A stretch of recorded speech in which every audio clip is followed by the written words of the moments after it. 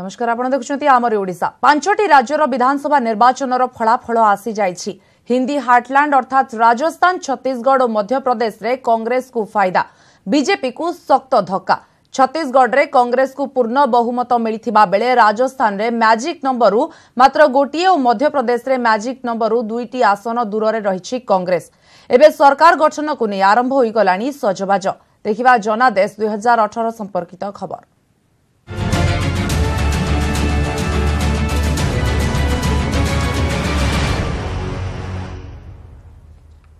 ମଧ୍ୟପ୍ରଦେଶ ବିଧାନସଭା ନିର୍ବାଚନରେ କୌଣସି ଦଳକୁ ମିଳିଲାନି ସ୍ପଷ୍ଟ ବହୁମତ।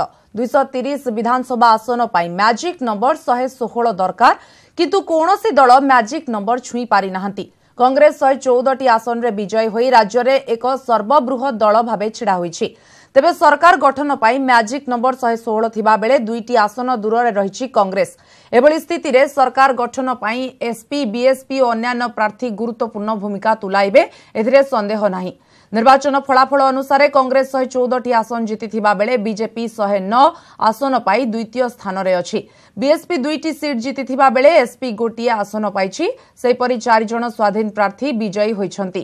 ଏକକ ସର୍ବବୃହତ ଦଳ ଭାବେ ସରକାର ଗଠନ କରିବ ବୋଲି ଦାବି କରିଛି କଂଗ୍ରେସ। ଏପରିକି ଅନ୍ୟ ପ୍ରାର୍ଥୀଙ୍କ ସମର୍ଥନ ମଧ୍ୟ ଥିବା ଦଳ କହିଛି। ଏପରିକି ସରକାର ଗଠନ ପାଇଁ ରାଜ୍ୟପାଳଙ୍କୁ ପତ୍ର ଲେଖିଛନ୍ତି ବରିଷ୍ଠ କଂଗ୍ରେସ ନେତା କମଲନାଥ।